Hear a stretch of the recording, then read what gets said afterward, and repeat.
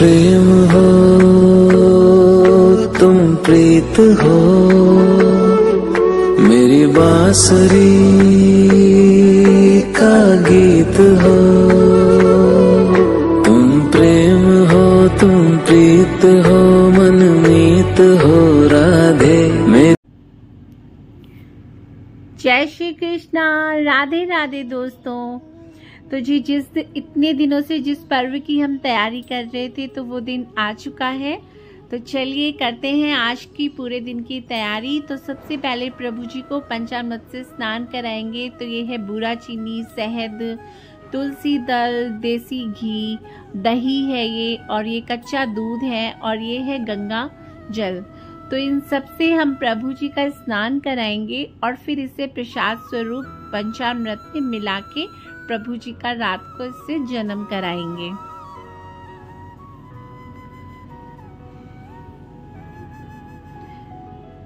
तो जी, स्नान कराएँगे, फिर प्रभु जी का सुंदर सा श्रृंगार करेंगे और फिर अच्छी अच्छी झांकी सजाएँगे और भोग लगाएँगे। तो आप वीडियो के साथ बने रहिए और देखिए, थोड़ा सी वीडियो आने में लेट हो जाएँगे क्योंकि बहुत सारा काम होता है। तो फिर भी चलिए आप लोग देखते रहिए। तो ये हमारे प्रभु जी आ गए हैं। तो काना जी हैप्पी जन्माष्टमी आप सभी को जन्माष्टमी की, आपके जन्मदिन की बहुत बहुत शुभकामनाएँ।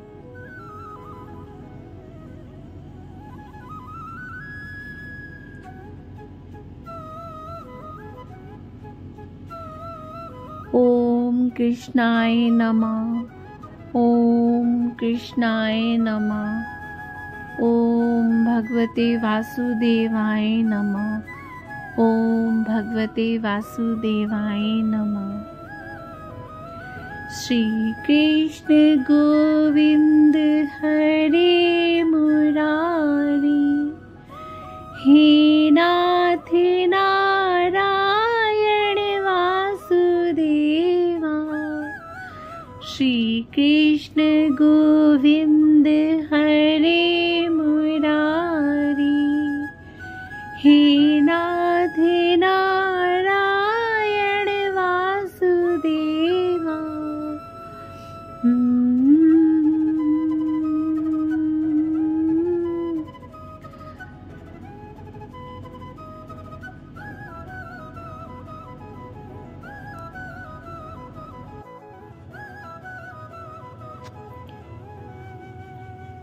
तो जी अब प्रभु का अच्छे से बिल्कुल स्नान हो चुका है।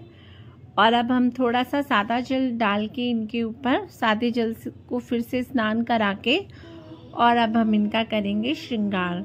और थोड़े से भजन कीर्तन भी हमने कर लिए हैं।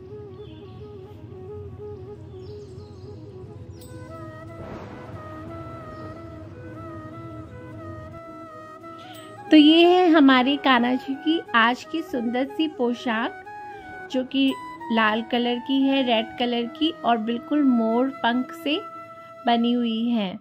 तो हमारे कान्हा जी को मोर पंख बहुत ही प्रिय है तो इसलिए हमने ये स्पेशल ड्रेस उनके लिए बनवाई है। तो चलिए कान्हा जी, प्रभु जी, आपका करते हैं श्रृंगार।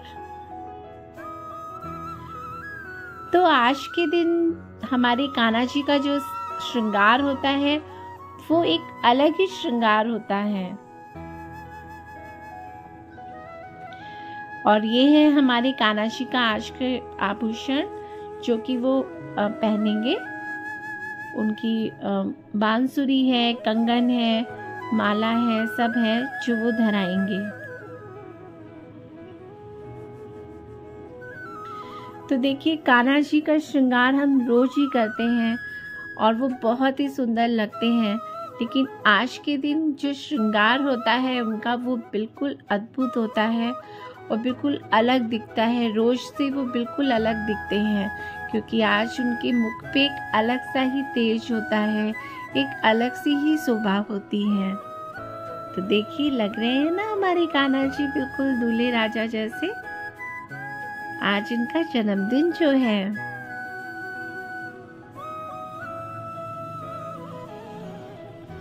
तो ये वाले बाल हमने पहले लगाए बट लेकिन ये बहुत बड़े थे, इससे पूरी पोशाक छुप गई थी तो हमने छोटे लगा दिए।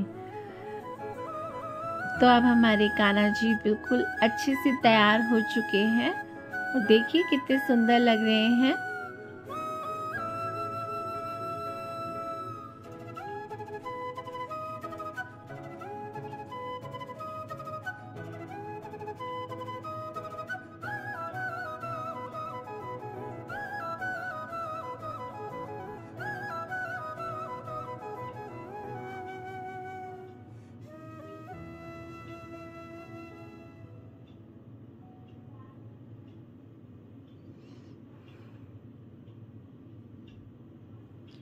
तो आप सभी लोग हमारे कान्हा जी के आज के श्रृंगार दर्शन कर लीजिए और हमारे कान्हा जी को किसी की नज़र नहीं लगे। इसके, इसके लिए हम उन्हें एक काला टीका लगा देते हैं।